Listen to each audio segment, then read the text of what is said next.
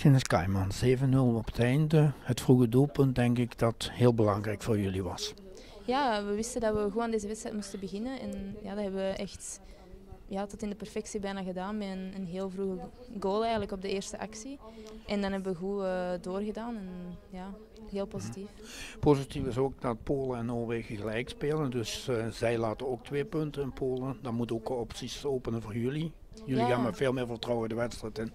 Ja, we weten dat dat mogelijk is ook. eh ja, we hebben zelf gelijk gespeeld tegen Polen, dus we weten dat dat ook een stugge ploeg is. En eh, ja, nu staan ons tegen Noorwegen om ook eh, uit deze match vertrouwen te hebben getankt. En dan volop ja, voor de stunt eigenlijk te gaan. Mhm. Wat ik wel positief vond van Kosovo, ze probeerden te voetballen. Dat is niet altijd met zo'n ploegen, dat maakt het wel interessanter.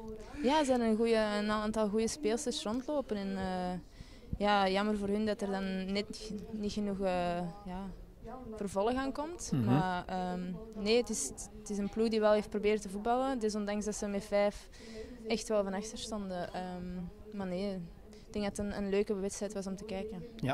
En nu volgende match tegen Noorwegen, ook van eigen kracht uitgaan. Ik denk dat dat de beste optie is, niet?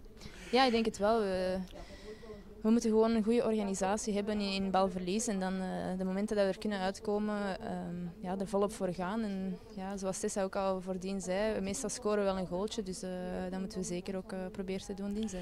Hoe vermoeiend is deze periode voor jou? Want je hebt heel veel wedstrijden, zeker met die nieuwe manier van Champions League. Mhm.